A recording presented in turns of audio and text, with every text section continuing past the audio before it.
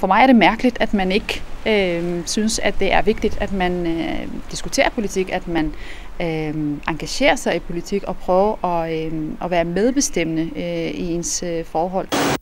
Politik i Danmark er noget, som, øh, som meget som direkte påvirker ens, ens dagligdag, i modsætning til øh, det, som vi, vi oplever fra, fra vores øh, oprindelseslande. Reza og Abir er uenige om mangt og meget, og så har de også en del til fælles.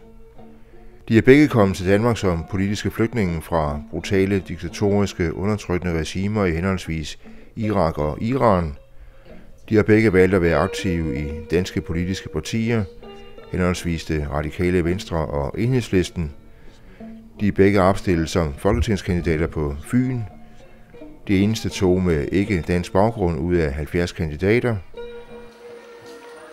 Og så er de også fælles sammen at være bekymrede over, at ikke etniske danskere, flygtninge og indvandrere ikke deltager i den demokratiske ret og pligt, når der skal stemmes ved valg til de demokratiske institutioner, Folketing, Regionsråd og Byråd, der styrer det land, de bor i.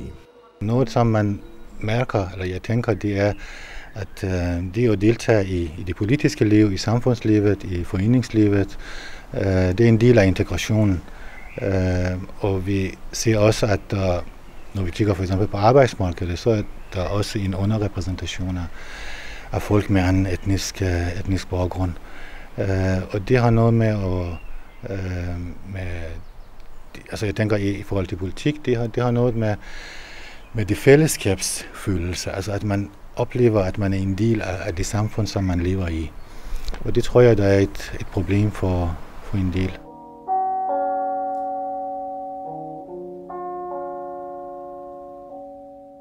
I dag skal man have dansk statsborgerskab for at kunne stemme ved valg til Folketinget, men når det handler om kommunalvalg, så skal man blot have haft bopæl i Danmark i tre år for at kunne stemme. Og det er netop statistikken fra de seneste kommunalvalg, der viser, at indvandrere og deres efterkommere har en relativt lav valgdeltagelse. For eksempel så viser tal fra valget i 2009, at den samlede stemmeprocent var på 68, men at kun 47 procent af første generations valgte at bruge deres stemmeret. Og nok så bekymrende, at tallet var endnu lavere blandt anden generation, hvor kun 36 procent fandt vejen til en stemmeboks. Vi har en fornemmelse af, at øh, den her øh, debat, der har kørt, ikke nødvendigvis kun i nullerne, men også øh, her på det seneste, øh, har været så øh, nedladende over for indvandrere og flygtninge, at øh, jeg tror, at det afspejler sig i øh, ud i samfundet, og hvordan indvandrere og flygtninge opfatter sig selv øh, som medlemmer af det her samfund.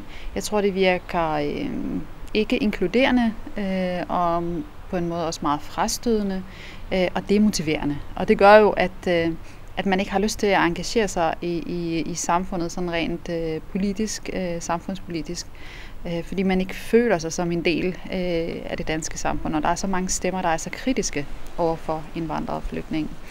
Øh, så det, øh, det, det tror vi spiller en rolle i, øh, at der er nogen, der bare simpelthen tænker, jamen det her, det, det har jeg ikke lyst til at involvere mig i.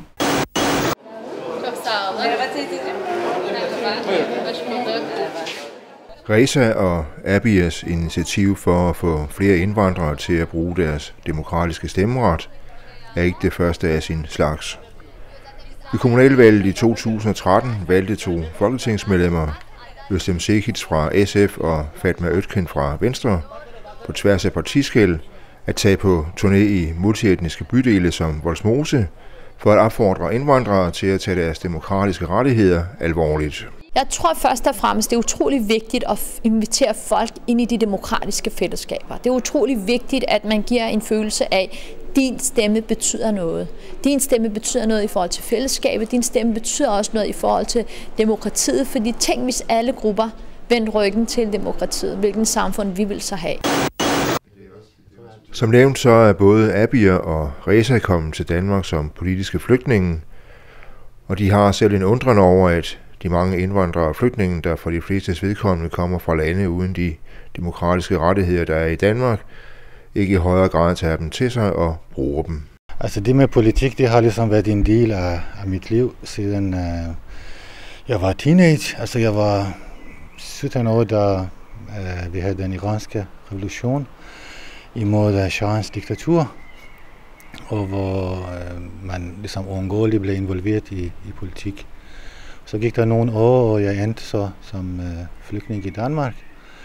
Øh, og der var jeg stadigvæk interesseret i, i, i politik. Da jeg kom til Danmark, der var den eneste, der var i politik i sin tid, det var tilbage i 89. Det var Nasser Carter. Og jeg må sige, at det er en politiker, som jeg er bestemt ikke enig øh, med øh, i mange ting. Men jeg synes faktisk, det var ret vigtigt, at der var en politiker med udenlandsk baggrund, fordi det var en inspirationskilde på sin vis, at, øh, at, øh, at det her det er et symbol på, at det kan lade sig gøre. Der kan gives flere forklaringer på, hvorfor flygtninge og indvandrere har en relativt lav stemmeprocent, når der er valg i Danmark. En af dem kan også være en mangel på rollemodeller. Måske meget godt illustrerer det faktum, at Reza og Abie er de eneste to ikke oprindeligt danske ud af 70 fynske folketingskandidater til valget den 18. juni. Heldigvis er der kommet øh, flere. Altså nu, når vi kigger i det politiske landskab, nu har jeg været i Danmark i over 30 år, og jeg kan godt huske, at der ikke var nogen stemmer fra, øh, fra etniske miljøer. Nu er der rigtig mange, både unge og, og ældre som mig, som er med i, øh, i det offentlige debat og i, i det politiske liv. Og det, det gør tingene meget nemmere, fordi det, det giver, som du siger, nogle rollemodeller, øh, og det handler også om at have nogen, uh, man kan identificere sig med, når man skal for eksempel gå ud og stemme. Uh, så det, det, det, det synes jeg har stor betydning, og det er også det, som vi gerne vil prøve at arbejde på. Siger Reza Javid, der sammen med Abia Al-Kalemni er kandidat til det danske folketing, hvor der pt. er 5 ud af 179 medlemmer med en baggrund, der ikke er oprindelig dansk. Det svarer til 2,8 procent, sammenlignet med at indvandrere og deres efterkommere per 1. januar 2015 udgjorde 11,6 procent af den danske befolkning. Det at være i Danmark er ikke et øh, midlertidigt ophold nødvendigvis. Øh, det er øh, her, at man øh, kommer til at være måske resten af sit liv. Det er der, hvor man har øh, børn, øh, og man forhåbentlig også får et arbejde. Det er her, hvor at, øh, det kan betale sig øh, at investere tid og energi. Øh, fordi at øh, de ting, der bliver diskuteret i Danmark, blandt andet integration, øh, som kommer til at spille en stor rolle i den næste valgkamp, øh, det er jo noget, der handler om dem. Øh, og hvis øh, man hele tiden skal høre på alt muligt, diskutere hen over hovedet på en, så kommer man jo aldrig til at være medbestemmende i ens, øh, i ens øh, liv. Det er mere en, en tro på, en, en tillid til, at, øh, at man kan udrette noget, og man kan skabe nogle, nogle forandringer.